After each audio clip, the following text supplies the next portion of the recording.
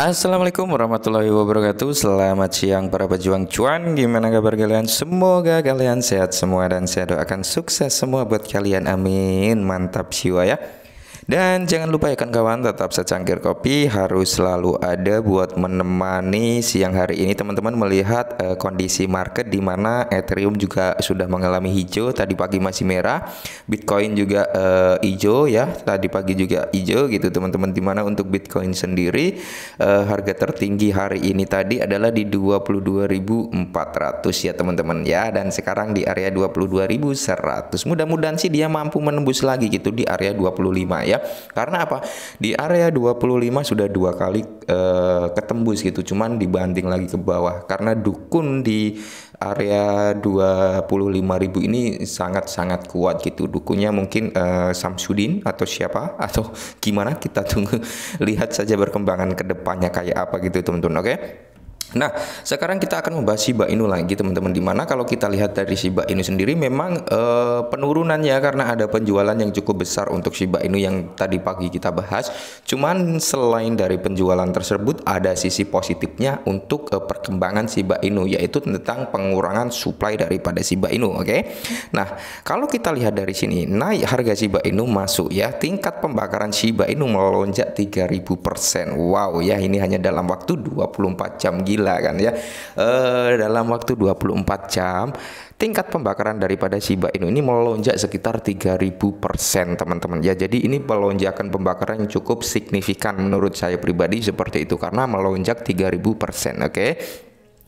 Memang uh, untuk Shiba Inu sendiri lagi berfokus di mana dia uh, ingin menipiskan atau uh, melangkahkan supply daripada Shiba Inu agar apa harga daripada Shiba Inu ini mampu naik gitu teman-teman sebelum Shibarium rilis ya gencar-gencarnya untuk membakar Shiba Inu gitu karena nanti ketika Shiba Inu rilis harapannya itu supply-nya uh, tidak sebanyak ini dan Shibarium berfungsi untuk membantu pembakaran Shiba Inu juga gitu ya teman-teman.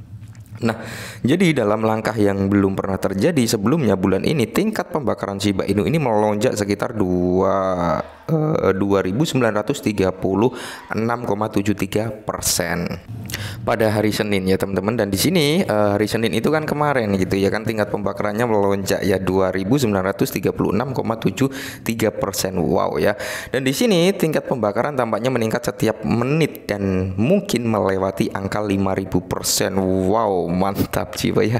Mungkin ya ini hanya perkiraan teman-teman. Mungkin melewati 5.000 persen hari ini ya jika momentum berlanjut gitu ya. Dalam 24 jam terakhir, hampir 200 juta token Shiba setelah dikirim ke dompet mati data dari Seaburn menunjukkan bahwa serangkaian individu paus telah sendirian membakar jutaan token Shiba Inu. Wow, jadi pembakaran ini terjadi oleh uh, individu seorang cukong ya teman-teman yang melakukan pembakaran sekitar 200 juta token Shiba Inu. Mantap jiwa ya. Nah, jadi gini ya teman-teman. Memang saya sering kali mengingatkan teman-teman ya ketika uh, kita bermain token meme ya kan, walaupun proyeknya bagus, mantap jiwa kayak Shiba Inu ini, kalau menurut saya memang proyeknya mantap jiwa mengarah ke blockchain ya teman-teman. Yang kabar burungnya sih uh, beta testnet publiknya akan segera di launching gitu teman-teman. Nah. Jika kita bermain dengan token meme seperti ini kayak Shiba Inu, Baby Doge dan sebagainya ya teman-teman ya uh, alangkah indahnya gitu ya. Alangkah indahnya ketika naik kita itu amankan modal lah ya. Kita take profit gitu teman-teman. Agar apa? Kita bisa uh, menikmati cuan gitu ya. Kita bisa beli rokok lagi beli kopi lagi dan sebagainya gitu. Dan ketika harganya turun kita bisa masuk lagi dengan uh, sisa yang kita take profit tadi gitu teman-teman. Jadi take profit tadi jangan uh, dicairkan semua maksudnya dicairkan ke rekening kita semua jangan ya kan? Sisakan buat serok nanti ketika harganya turun lagi kayak gitu maksudnya Jai ya. Nah di sini dalam 24 jam terakhir ya ini sudah kita bahas tadi Oke dan di sini ya ini adalah brown rate daripada Shiba Inu itu sendiri di mana di sini brown rate-nya 200 eh, 2936,73 persen. Oke ya dan di sini last eh, 24 jam terakhir ya teman-teman di mana pelonjakan ini pembakaran sekitar 200,4 juta Shiba Inu ya dalam kurun waktu 24 jam. Ini cukup uh, kenceng juga ya 200 4 eh, 200 juta 400 ribu ya Shiba Inu yang terbakar dalam kurun waktu 24 jam. Ini cukup kenceng juga ya. Cukup uh, amazing kalau menurut saya pribadi teman-teman ya. Nah, luka bakar datang pada saat paus Shiba Inu telah habis-habisan dengan token bertema anjing selama akhir pekan. Dua paus berba, eh, berbeda membeli 7000 yang mana tadi kok nah ini? Membeli 7001 7 miliar token. Ya teman-teman Shiba senilai 8,6 juta. Jadi ada pembelian seekor paus nih ya yang membeli sekitar 8,62 juta US dollar teman-teman. Data dari etherscan.io ya menunjukkan bahwa paus kedua adalah pendatang baru ke dalam limpatan Shiba.